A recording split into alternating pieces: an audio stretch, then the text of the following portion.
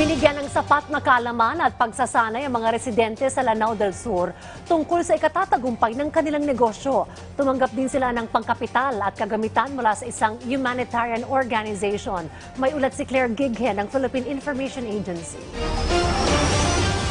Nasa isang daan at dalawamput mga individual sa barangay Barimbingan, Ditsaan, Ramain, Lanao del Sur ang sumailalim sa Financial Literacy at Enterprise Development Training. Sa tulong nito, matuturuan sila kung paano i-manage ng maayos ang kanilang mga negosyo. Ang training ay isinagawa ng Islamic Relief Philippines sa pakikipagtulungan sa Ministry of Trade, Investments and Tourism, Lanao del Sur Provincial Office. Ayon kay Islamic Relief Philippines Area Program Manager City Jamaira de Sumimba, ang training ay parte ng livelihood component ng Sustaining Transformative and Resilient Initiatives in Vulnerable Communities o STRIVE-C in Ranao, Philippines. Isang tatlong taong proyekto na layong matulungan ng internally displaced persons o IDPs galing Marawi City at host communities. Sa pamamagitan ng pondo galing Islamic Relief Canada, target ng proyekto na magbigay benepisyo sa anim na daang pamilya sa anim na barangay sa bayan ng Ditsaan, Ramain at ang mga ito ay hinati-hati sa grupo. Pagkatapos ng training, makakatanggap naman ang bawat grupo ng 50,000 pesos cash grant bilang kapital ng kanilang napiling pangkabuhayan kasama na ang ibang mga kagamitan.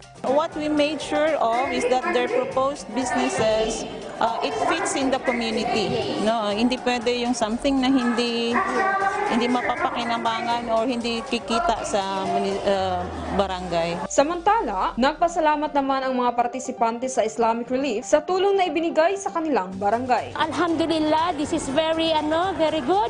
Ah, maraming maraming salamat. Sana ipagpatuloy nila ang kanilang naitutulong sa iba't ibang barangay, lalo na po sa barangay po namin ng Barimbingan. Claire ng Philippine Information Agency Lanao del Sur para sa Bayan.